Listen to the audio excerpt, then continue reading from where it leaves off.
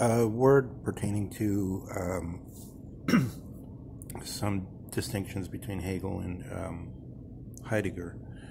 Um, so, the oft uh, repeated word and, um, as it were, grand uh, statement on time of Hegel, um, you must write it down.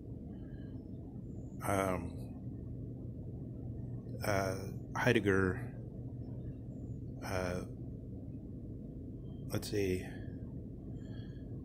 has already outstripped in the sense that in um, Auseinandersetzung or Setzen, um, in a sort of a, a hubbub of conflict with uh, the whole tradition which comes out of Heidegger's thinking of this break from um, scholasticism, he also thereby has broken with this uh, necessity.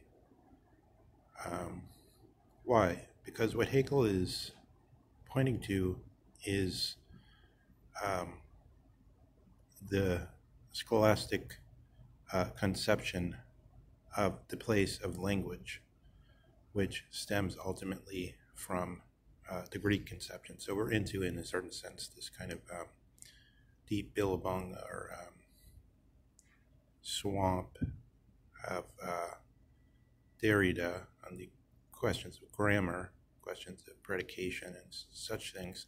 But what's the simple question of the form of predication of something as something? It's that um,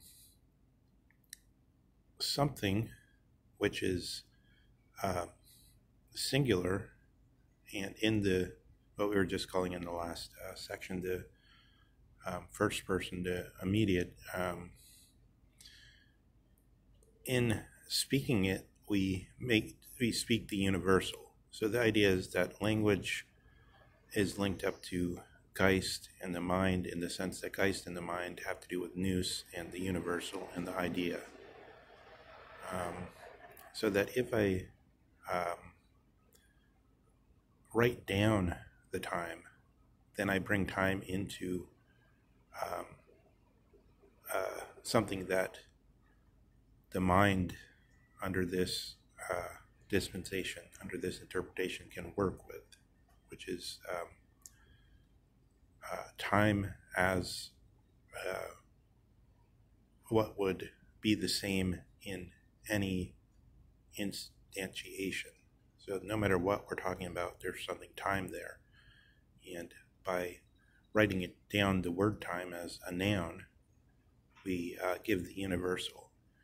Um, so in Heidegger, when we say nothing, nothings, we aren't doing a predication. So this is where you can see grammar and the forms of language we're used to uh, play tricks on us in a way that we're so used to.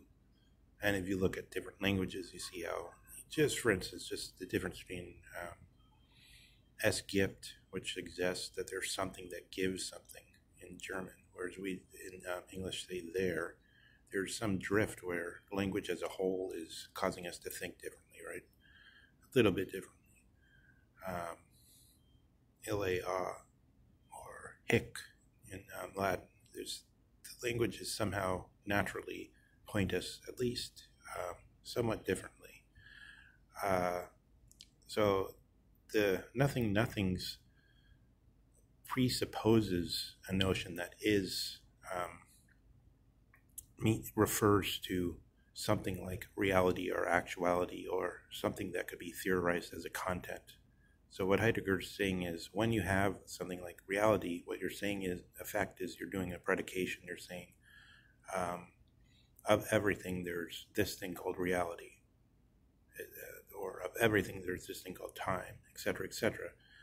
Um, whereas what he wants to say is when we being that he's trying to think through is not predicated it's not a part of a predication structure. So then we could go into the specific ways it's been thought in history from uh, the early, from um, uh, Parmenides and even before Parmenides in a certain sense, uh, to Kant with the is being the copula of the sentence.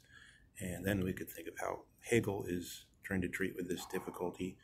But you can see those difficulties have something to do with uh, a gra- grammatology, with grammar, with the predication, with uh, the way language drifts, with the way language um, thinks. Heidegger um, ultimately, like Wittgenstein, Wittgenstein deals it with, with this in the same way as uh, the problem of the universal and trying to escape from the problem of the universal, raised uh, notably or perhaps at its center by um, Socrates as staged by Plato.